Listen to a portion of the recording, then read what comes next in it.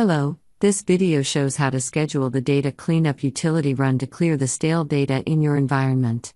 The data cleanup utility offers an automated method that periodically cleans up data in your environment. This utility helps to improve system performance by maintaining database sanity. We recommend scheduling the utility to run during non business hours to achieve the best results. This utility runs on all out of the box forms and record definitions, but it does not run on the archived forms. Let us see how to use the centralized configuration to schedule the data cleanup utility run. Use the stale data cleanup cron job schedule settings to schedule the utility run. Here, we are setting the utility to run every midnight. You can also choose to update the out of the box forms and record definitions by using the AR System stale data cleanup form. Let us now see how to update the out of the box settings. This form lists all out of the box forms and record definitions.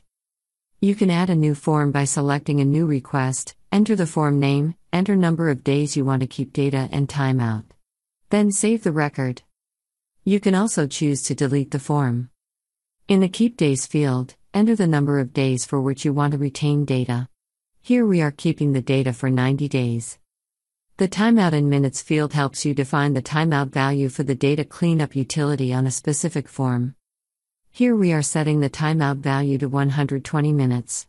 Remember that the timeout value for a form must be lesser than the timeout value for the data cleanup utility.